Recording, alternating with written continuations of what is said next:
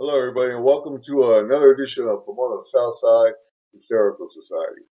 Now, today I had the opportunity to go into the old Seventh day Adventist church, known as today as the New Pomona Church. Now, I went inside and they're restoring the church, so it's going to look a little messy when you when you see the pictures. But anyway, yeah, I took a little tour on the first floor.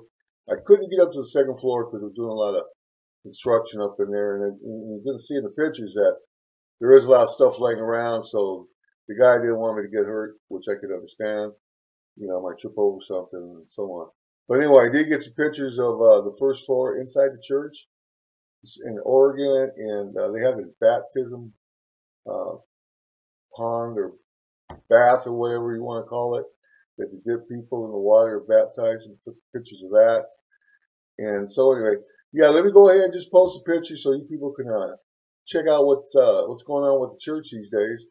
And but by any chance that you did that you did make it to the tour, kind of give you a little peek of what uh, what's been going on. So anyway, we restoring the old church, Seventh Day Adventist Church here on Third Street and uh, Gordon. Been around since the 1800s, the mid 1800s. So it's been here for a long time. Okay, without further ado, let's check out the pictures. And uh, like always, you take care and uh, you take care of ones. love. thank you.